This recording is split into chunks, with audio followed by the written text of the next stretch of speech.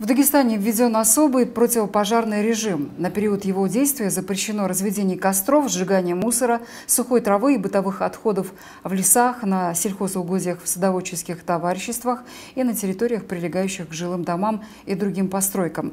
Чтобы оперативно выявить факты сжигания сухой растительности и привлечь нарушителей к ответственности, будут созданы мобильные группы для организации патрулирования с привлечением полицейских и добровольных пожарных формирований. Кроме того, будет ограничено пребывание граждан в лесах и въезд в них транспортных средств. Как сообщают в МЧС по республике, накануне ликвидированы три лесных пожара в окрестностях поселка Тарки, а также в Карабудакенском и Казбековском районах.